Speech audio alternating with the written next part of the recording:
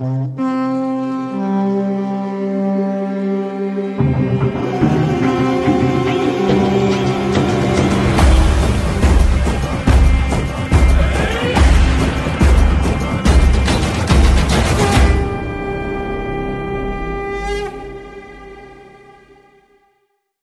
2022 में एक बहुत ही ज़बरदस्त फ़िल्म आने वाली है।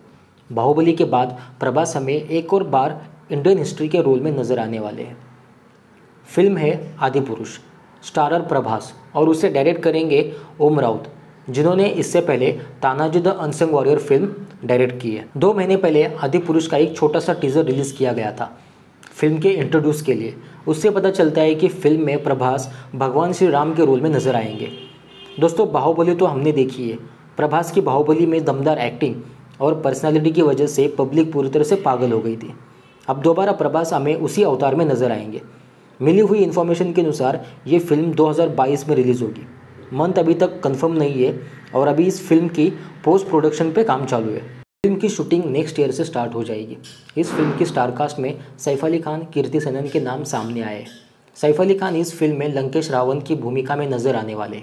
तो कीर्ति सेनन इस फ़िल्म में माता सीता का रोल प्ले करने वाली है।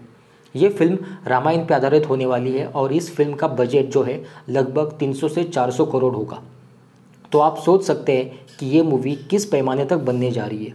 और इस फ़िल्म को हिंदी, मराठी, मलयालम, कन्नड़ा और तेलुगु में भी डब किया जाएगा। और एक खबर की माने तो इस फ़िल्म में अजय देवगन का भी एक किरदार होगा, जो कि इस फ़िल्म में वो शिवजी का किरदार प्ले कर सकते या फिर शायद उनका इस फ़िल्म में एक छोटा सा केमियो भी हो सकता है। और एक खबर की माने तो इस फ़िल्म में एक और नाम जुड़ चुका है, और वो नाम है अनन्या पांडे का।